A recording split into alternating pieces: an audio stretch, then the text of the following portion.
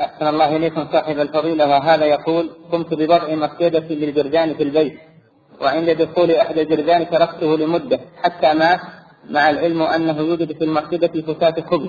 هل علي ذنب في هذا العمل؟ وما حكم قصد الفأرة أو حبسها؟ وهل بولها وغائطها طاهر؟ نعم. لا يجوز تعذيب تعذيب الثيران والجرذان التي تقتل دفعا لشرها لا يجوز تعذيبها وحبسها حتى تموت.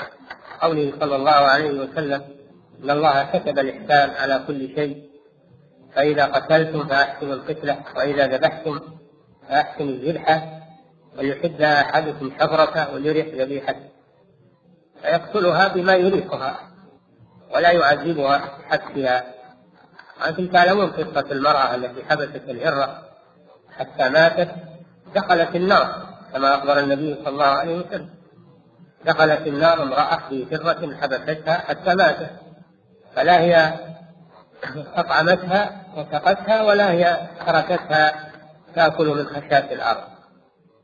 لا يجوز قتل هذه الأشياء التي تقتل دفعا لشرها لا يجوز قتلها بالتعذيب إنما تقتل بما يجهد عليها ويريحه أما فضلات الفارة فهي طاهرة.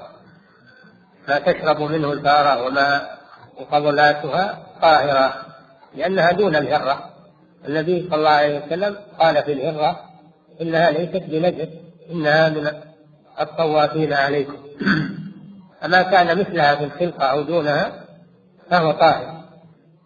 طاهر آه، ريقه وعرقه وفضلاته.